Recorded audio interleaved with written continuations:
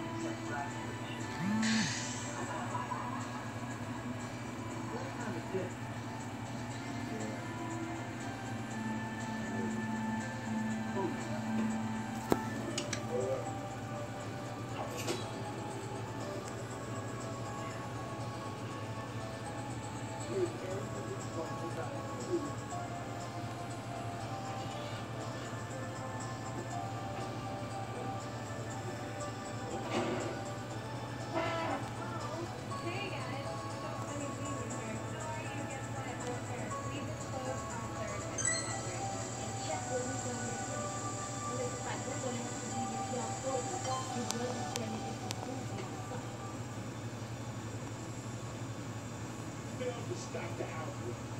And you have no leads. We are running out of time. You either find the supplier or I'm gonna jump your asses off Jump Street. I totally understand where you're coming from, sir, because I heard Eric talking on the phone.